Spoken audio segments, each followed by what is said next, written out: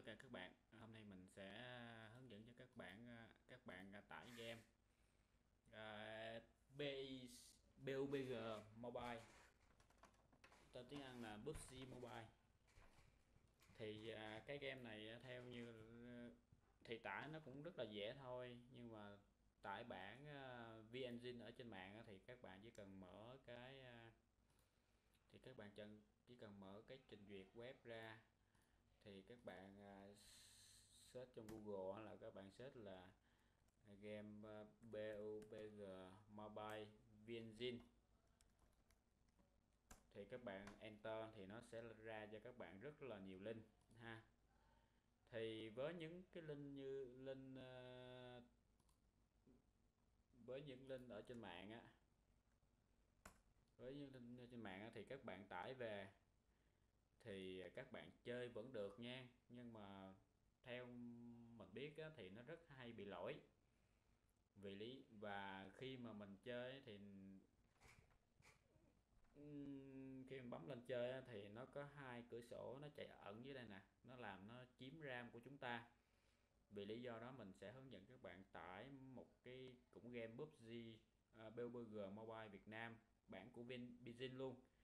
Nhưng mà tải ở trên trang khác. Mình không có thể tải trên trang zin hoặc là những cái trang web khác nha. Đây là trang chủ của trên zin. Mình sẽ hướng dẫn các các bạn tải trên trang khác. Đó là trang ờ, đó là trang này. Ha, các bạn tải về nha.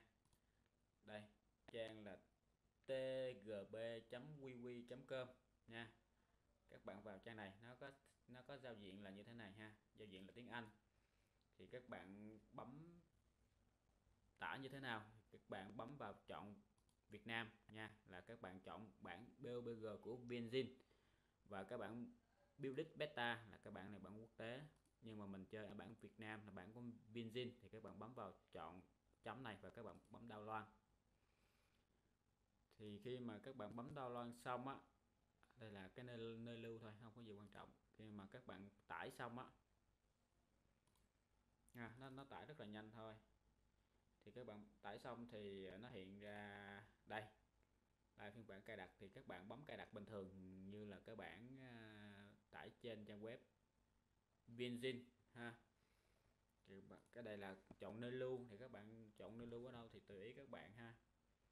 Thì các bạn bấm enter và lưu bình thường nha các bạn cài đặt.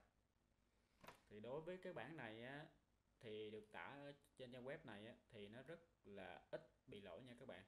Nó không bị lỗi.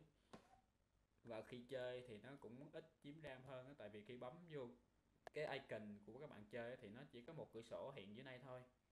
Nó không có nhiều cửa sổ giống như bản ờ, tải trên Vinzin hay là những cái cái bản mà các bạn tải trên trang web ở Việt Nam đâu nha. Còn cái trang web này trang web của Trung Quốc nha các bạn. Khi các bạn tải về thì khi bấm vô chơi thì nó hiện một cửa sổ thôi nó rất là nhẹ ha. Rồi thì chủ yếu là cái video này là mình xin giới thiệu link cái link cái link này cho các bạn tải game thôi. Còn về việc cài đặt thì nó rất là đơn giản ha. Cài đặt và bấm net test và chơi thôi. Và các bạn và cái bản này á, thì trên rất là ít bị lỗi hơn so với cái bản kia nha các bạn. Và chơi nó nhẹ hơn. Rồi ok. Uh, xin cảm ơn các bạn đã xem video ha về link đó thì mình sẽ copy và để dưới phần mô tả cho các bạn tải về nha. Rồi, cảm ơn các bạn.